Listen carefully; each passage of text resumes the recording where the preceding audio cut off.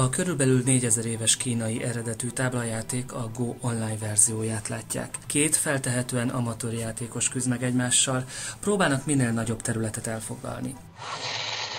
Ez pedig már az a kép, amikor az AlphaGo szoftvere 2016 márciusában 5 mérkőzésből négyet megnyert a világbajnok Lee Sedol ellen. A Go, csak úgy mint a sakk, a mesterséges intelligencia kutatás divatos vizsgálati területe. A profi versenyeken 19x19-es táblák vannak. Ezen a táblán legalább 10 a 170-en állás létezhet. Bencúr András a Magyar Tudományos Akadémián tartott előadásában arról beszélt, hogy az akkora szám, hogy az univerzumban felelhető atomok száma is eltörpül mellette. Tehát a méret az egy óriási probléma itt. Ha most visszatérünk Lee Sidol Go nagymesterre, aki a bal oldalon van, kiállt vele szemben a jobb oldalon. Google szervertermek tömege, óriási mennyiségű programozó, ugye Google-ban tízezrében vannak a, a nagyon tehetséges fejlesztők. Az AlphaGo győzelmének a kulcsa az emberi agyat utánzó tanulni képes mesterséges neuronhálózat.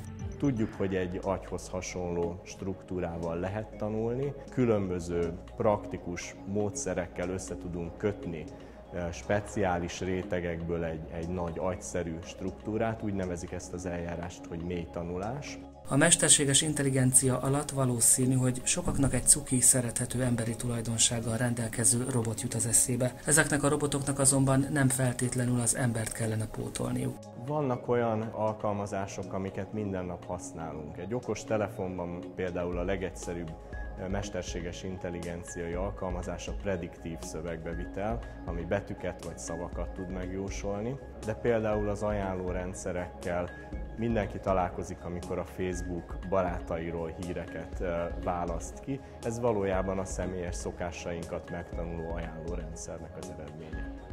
A Tudomány Ünnepe rendezvénysorozaton Buttyán Levente a digitális adatok titkosításának világába kalauzolt el a közönséget. Az információ elektronikus tárolásával, továbbításával és feldolgozásával kapcsolatos feladatok a mindennapi életet is átszövik. Szinte mindenhol használunk ma már rejtjelezést. Ugye, ha csak arra gondolunk, hogy az interneten, amikor böngészünk, és mondjuk HTTPS kezdetű URL-re kattintunk, akkor lényegében egy kriptográfiai protokoll fut le a háttérben, és a böngészőnk és a távoli szerver között kiépül egy biztonságos csatorna, és ezen keresztül történik meg az adatok cseréje, az adatforgalom. A világtörténelemben sok feltörhetetlennek hit algoritmus létezett, előbb vagy utóbb a feltörhetetlen jelző már nem volt rájuk igaz. A második világháborúban az Enigma, amit a németek használtak rejtélező gépként a hadseregben, szintén a szövetségesek egy ideig feltörhetetlennek gondolták, aztán ugye tudjuk, hogy Ellen Turing vezetésével mégis ezt sikerült feltörni. Ez nem fikció, mint a mesterséges intelligencia, amely nem egyéb, mint a tudományos fantasztikus irodalom terméke. A tudomány gépi tanulással és a gépek adaptációjával foglalkozik.